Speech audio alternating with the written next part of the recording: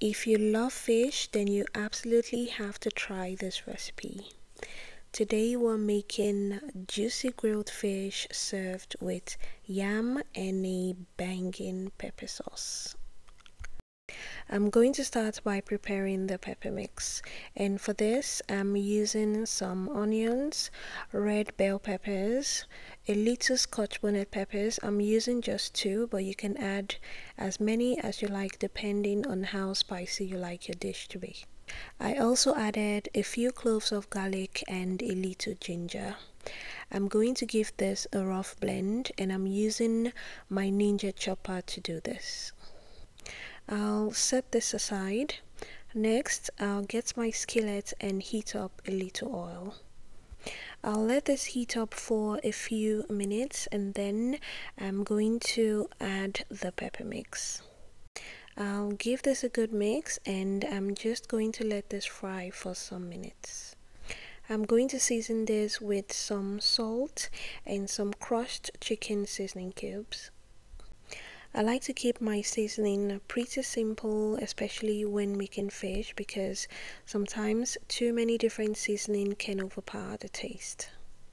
So I let the sauce fry for a few minutes. I don't want it to dry. You'll know the sauce is ready when the oil starts to float to the top. I'll take that off heat and set aside.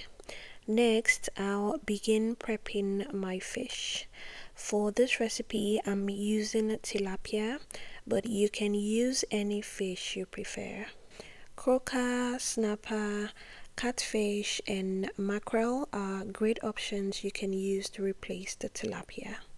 So when I got this fish, it was already gutted and scaled. So I'm just taking the extra fins off using a kitchen shear. You can also do it with a knife, but the kitchen shears just work better.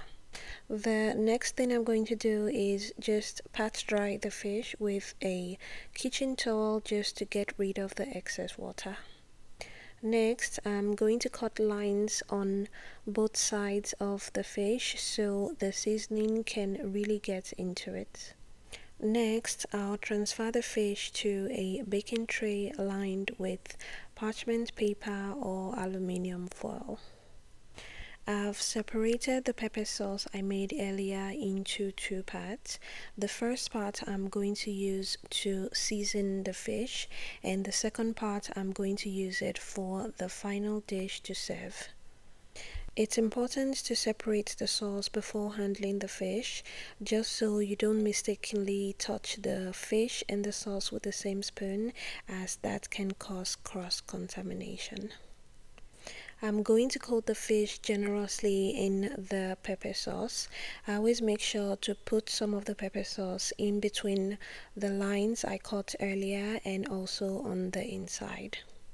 Next, I'm going to add a good amount of salt on both sides of the fish. I usually add this before adding the pepper mix, but I forgot, so I'm adding it now. The last thing I like to add is some lemon juice. The lemon juice gives the fish a really bright and zesty flavor. I'm going to wrap this before transferring it to the oven. The oven has already been preheated to 430 degrees Fahrenheit, which is also about 220 degrees Celsius. I'll bake this covered for about 15 minutes. While it's baking, I'll get started with the side, which is fried yam. I'll cut and peel the yam and then I'm going to cut it into smaller pieces or cubes. I'll rinse the yam cubes, drain, and then I'm going to season with a little salt. Mix very well so the salt is evenly distributed and then I'm going to fry this on low medium heat.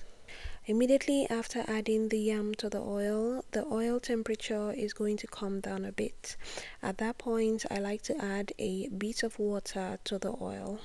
This process makes the fried yam taste way better so it's soft on the inside and crunchy on the outside. It's kind of like boiling and frying your yam at the same time.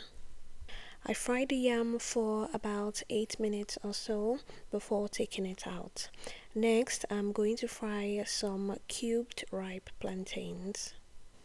I'll go ahead and check on the fish. It's been about 15 minutes so the fish is almost ready.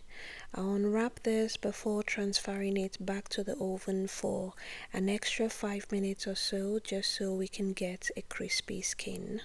If your oven has a grill or broil setting that would be perfect for this. When the fish is ready, serve with the fried yam, the remaining pepper sauce and enjoy. Let me know if you'd love to try this.